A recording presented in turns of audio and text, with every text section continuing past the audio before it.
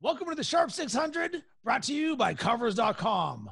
I'm Rob Cressy, and I'm super excited to be jamming with you. And joining me to jam about MLB betting is senior industry analyst for Covers.com, Jason Logan. You can follow him on Twitter at CoversJLo.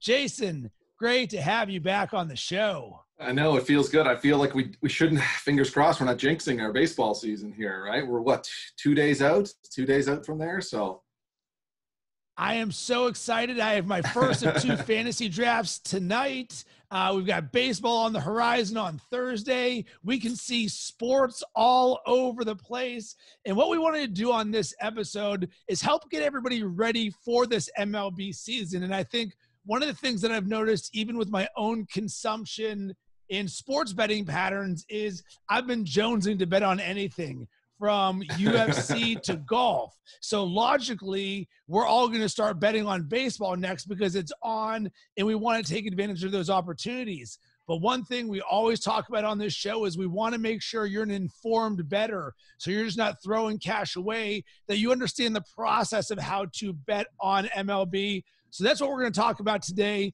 And let's start with this some of the changes that happened this year and how it might affect the betting side of things. So, one, there's a designated hitter in the National League. Why mm-hmm. is this of note? Because one, there's going to be more runs scored. Uh, two, the starting pitching is likely to get knocked around a little bit more. Um, in extra innings, we've got a player on second. Why does that matter? I have to believe that's going to favor overs or at least give a slight edge to that. And then the last one, which I recently saw, was you no longer need a listed pitcher in order for the bet to uh, be completed. So, for example, traditionally, if it said Justin Verlander's pitching for the Astros, he must start in order for the bet to uh, get action. But that is no longer the case. I'm curious if any of those things are really going to have a huge impact for you. Um, for me, I mean, the, the the DH in the NL is going to be one that I definitely you want to keep your eye on. I mean, you're, you're putting a instead of having a pitcher up there, basically, you know, laying down a bunt or just you know whiffing away, you're going to have a pretty good bat there. And I think the way that odds makers are, are somewhat treating it, they're looking at a bit of an uptick when it comes to totals in those NL games.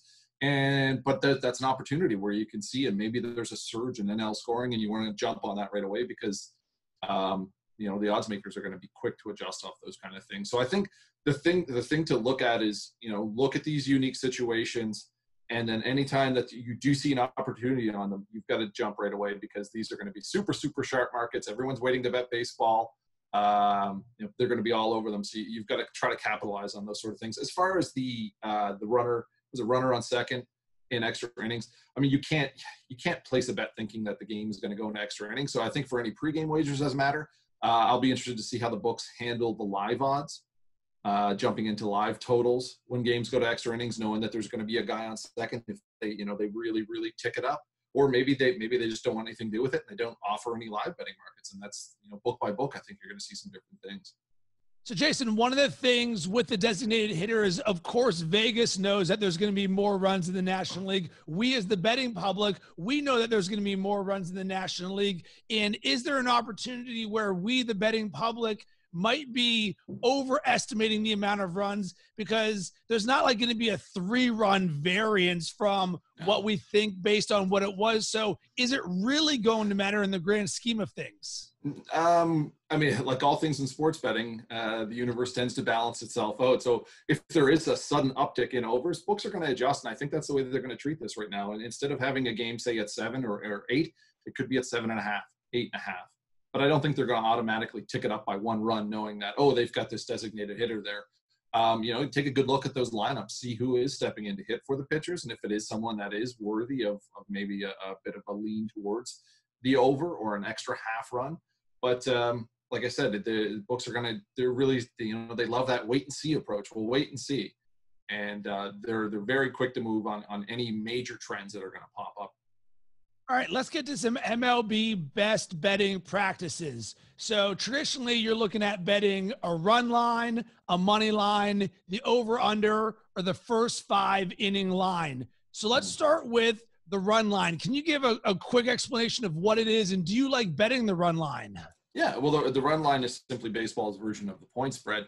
Uh, bulk of the time, which within Major League Baseball, you're going to see a, a one and a half for the run line. So that the team that is favored to win the game, they're going to be minus one and a half.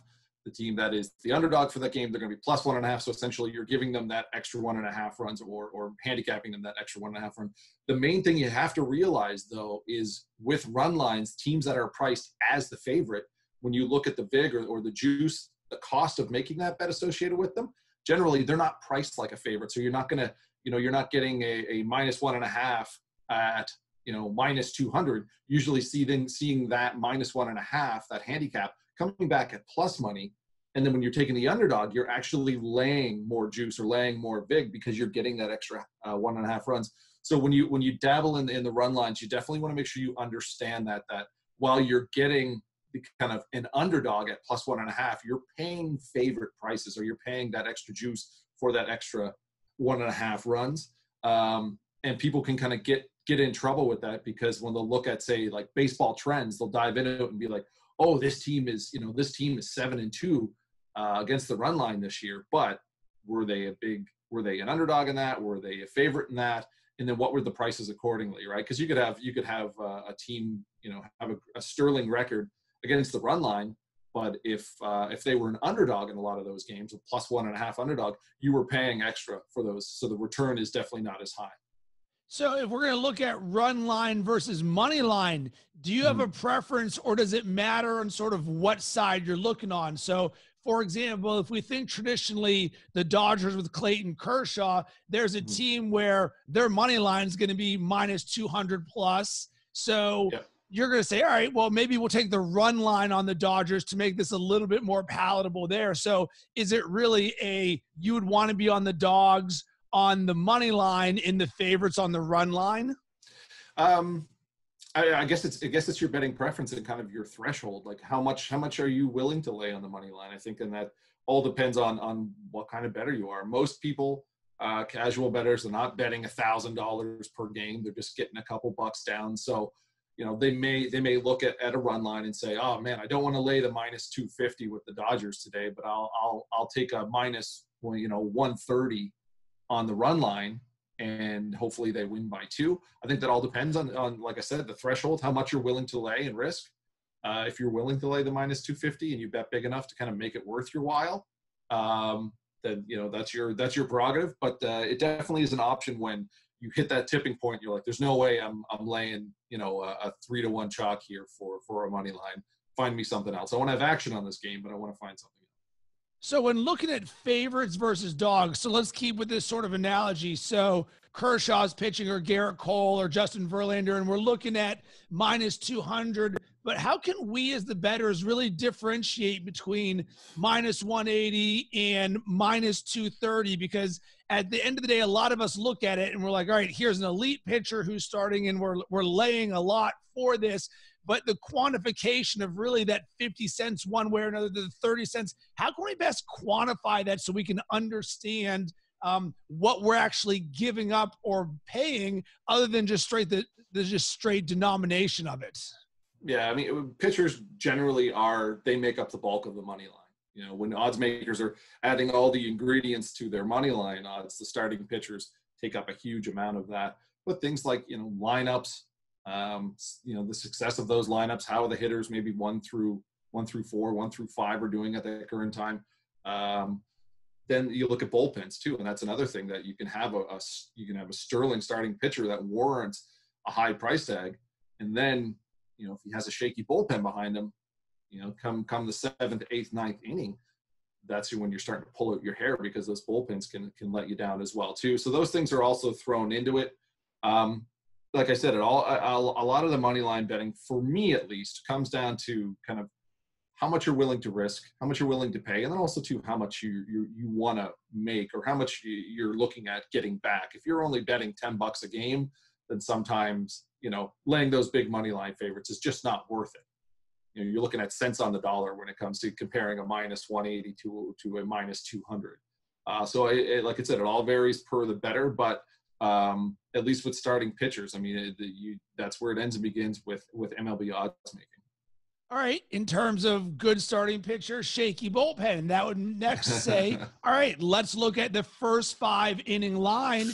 And will this be a bet that is more attractive this season? Because early on, there is suggestions that, hey, starting pitchers aren't going to be going as deep. We've got a little bit more of expanded rosters. So there's going to be deeper bullpens. So there's going to be uh, a lot more pitch caps for these pitchers. So you would say, all right, well, maybe let me get in on the first five inning line instead of the entire game line.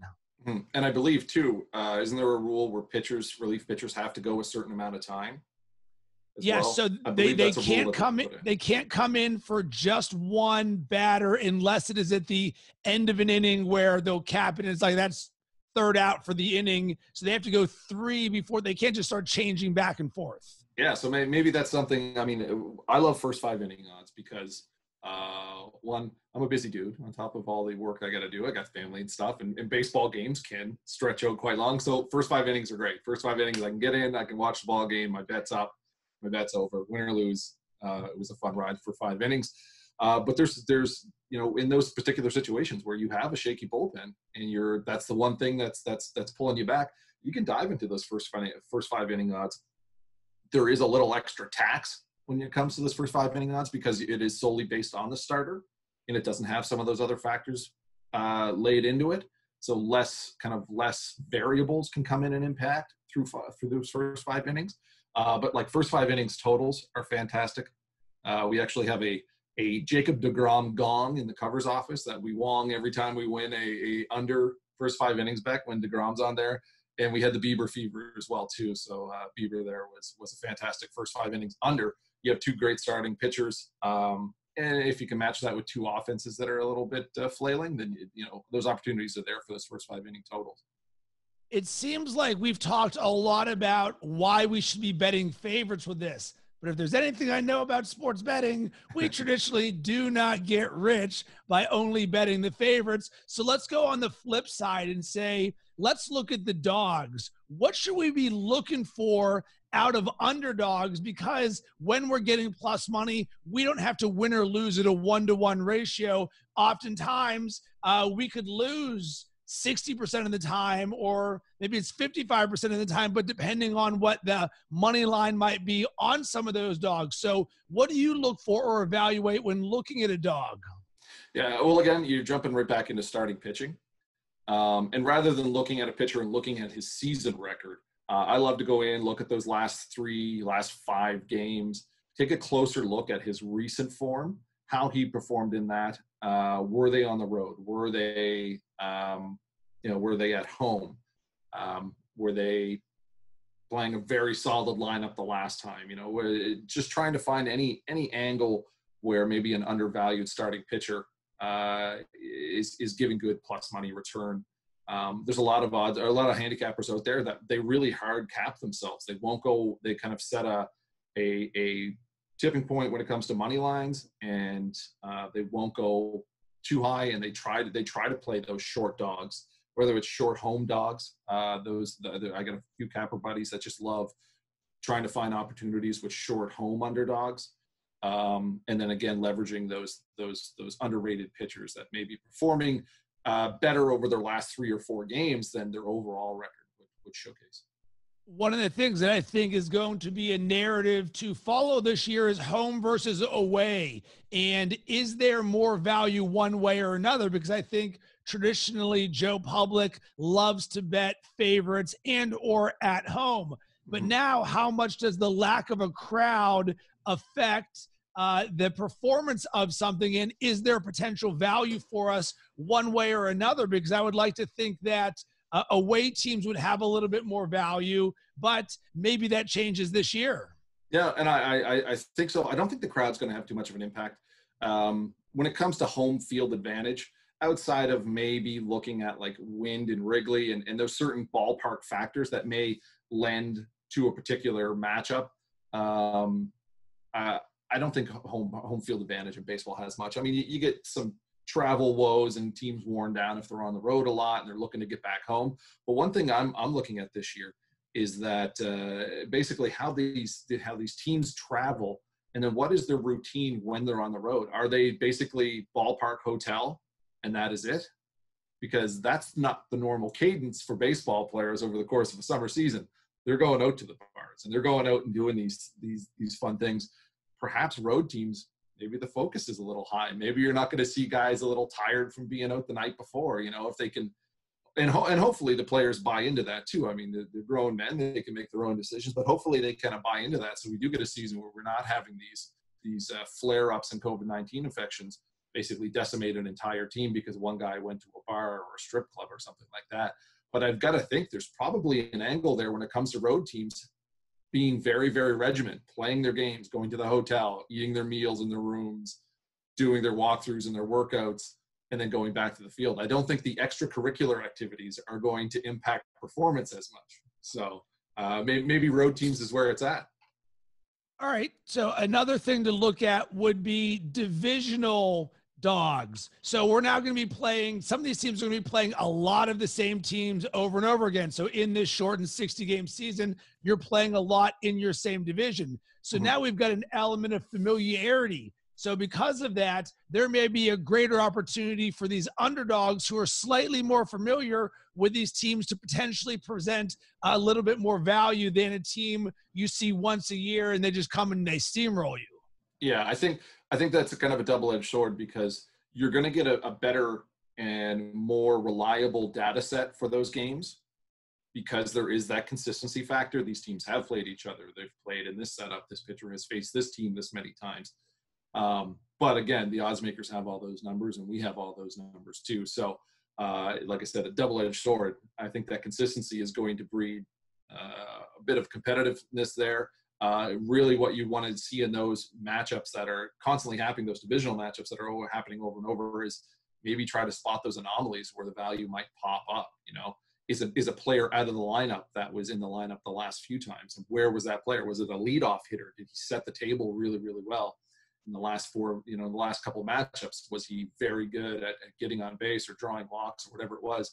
And with him out of the lineup now, how does that change the dynamic of the offense? So I think within those consistent situations, you got to have a really sharp eye for the anomalies and then spotting that value and, and trying to take advantage of that because the data set is going to be um, a lot more a lot more condensed and I think a lot more reliable. But like I said, it's it's working on either side of the counter. The bookies have it, and we have it. So um, you know, it's it's trying to find those angles where you can get one past them. Is there an 80-20 rule for baseball? So traditionally when betting football, I've talked about this often, where if 80% of the action is on one side, we want to be on the other side because Las Vegas has gigantic casinos for a reason. Yeah, no, I, I, don't. I don't think it really applies for baseball because those money lines are so much. So they're they're based on that uh, you know implied probability of winning, and they're you know they're skewed to that, and they'll move them to that. It's not like betting point spreads where the point spread is supposed to even the playing field. You know what I mean? Um, you know, so if a team is is eight points better than them, you know, a, a seven and a half. You betting, you know, the, the, underdog to cover or the favorite to cover with baseball with with money lines generally, which is the you know most common way that people wager on baseball. Um, you don't really get that. You get to see how greater one team is than the other. Let's look at live betting for a second because it's something that over the last year is probably the thing that I've been most excited about all throughout the football season. I was doing a ton of live betting and really tracking the markets to see when opportunities present themselves. So now yeah. let's look at this on the baseball side of things. And what do we need to be cognizant of when live betting? I mean, because you've given some great examples of the Bieber or the Jacob DeGrom unders on the first five innings. And if if I was going to be watching that same game and looking at the live betting lines, mm-hmm. where would the opportunities present itself, or how should we be thinking about live betting in baseball? Yeah, base, baseball is a bit of a is a is a little bit of a tough live betting market to get the best of because it doesn't have that fluidity like you would see with say basketball or hockey or even even football in a way too. Um, you know, if if a runner gets on base, if a runner advances to second, the action is stopped, the odds are then closed and then post it back up. So there's no kind of if you're watching the game, you don't get that feel or that swing in momentum necessarily. Um, now playoff baseball is usually that's my favorite time to bet live baseball because you do see like that late inning action. You see you know runs scored in the seventh and eighth and those those tense moments later on and i think with this condensed schedule towards the end of the year we're going to see some of those i think some of these regular season games are really going to take on playoff type feel and, and teams are going to treat them as such it's not going to be you know there's not going to be this oh we'll ease into the schedule there's a bit more urgency there so i think i think we'll see teams pressing a little more in the later innings when they're down because they know they can't afford uh, to fall to fall back in the standings because they just don't have the the schedule to make it up. Um, so I think there could be opportunities there late, uh, especially in those those close division races where teams are hunting for playoff spots. Um, but then too, I think when you're watching baseball, maybe some of some of the things, some of the tips that you can, or some of the things to look for when you're watching a game and I think it's very there's guys that will jump into live betting without watching a game just because maybe they're trying to you know hedge something or maybe it's a, an arbitrage opportunity that they're trying to to, to swing in the in the, the odds. But um, you know, watch the pitchers. Watch the pitchers. Did he did he throw a wild pitch? Um, does he just seem a little rattled? Has the catcher had to come out and talk to him a couple times? Uh, warning track shots. Has he allowed a couple shots to the warning track that you know in the in the in the scorecard they look you know that's just an out to the center fielder, out to the left fielder. But if you can if you can see those those pitchers get a little rattled, maybe have a couple close calls, you know, then you can say, ah, there's something wrong with this guy, and maybe that's when you want to jump on the over or jump on the other side if if you notice that you know a pitcher just doesn't seem right. Are there any final tips or tricks or things that we should be looking out for when betting this MLB season? Um, one thing with baseball betting, and, and is different from uh, other betting, specifically like football and basketball and things like that. You know, I always say be wary of trends. You know, you always want trends with teeth. You always want trends that have a bit of a narrative behind them. You know, they've done they've gone under in their you know last you know seven of their last 10 first quarters. Okay, well, why is that? And then you you dig into that and you find out why. With baseball, I tend to lean on trends a little more because there is a consistency to the schedule. Um, because teams are playing opponents like three days in a row. And as you mentioned with divisional foes, there's a there's a, a lot more reliable data set there. So I find I find when trends happen in baseball, I'm more likely to jump on them and bet them um, than I would any other sport, just because there, like I said, there is a bit of a consistency to, to, to baseball that's there that isn't in any of the other sports. Jason, really excited about this upcoming MLB season because we have sports. Hallelujah. Fingers crossed. Don't jinx us yet. Where can everybody connect with you? Uh, well, you can come to covers.com and check out all the awesome baseball coverage we've got going right now. And then it'll be basketball coverage and hockey coverage. Then, you know, Lord willing, we'll get some football in there as well, too. Uh, but you can follow me on Twitter at coversjlo. Uh, digging into uh, digging into the opening day games now. I've got uh, my preview for the Giants and Dodgers up there.